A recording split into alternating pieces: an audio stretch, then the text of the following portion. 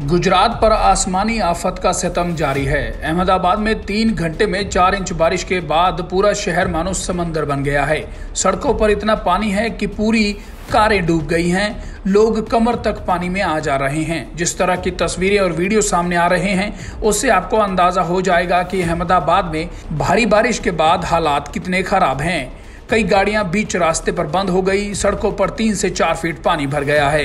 अहमदाबाद की कई इमारतों की पार्किंग में पानी भरा हुआ है। पूरी की पूरी गाड़ियाँ डूब गई हैं। बारिश के बाद हाल ऐसा है कि पूरी कारें अंदर समा गई हैं। कुछ घंटों में इतनी बारिश हुई कि क्या दुकान, क्या घर, हर जगह पानी ही पानी है। लोग खुद ही घरों में घुसा पानी बाहर निकाल रहे हैं।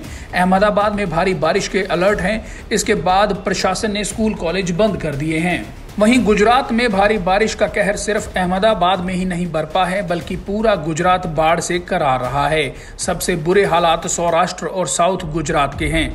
वलसाड़ में चारों ओर सिर्फ़ पानी ही पानी नज़र आ रहा है।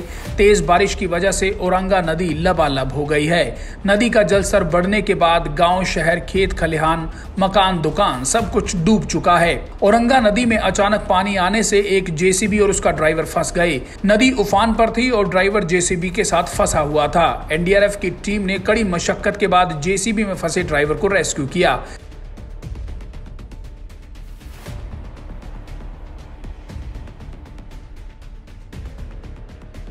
गुजरात में भारी बारिश का दौर अभी जारी रहने की चेतावनी दी गई है।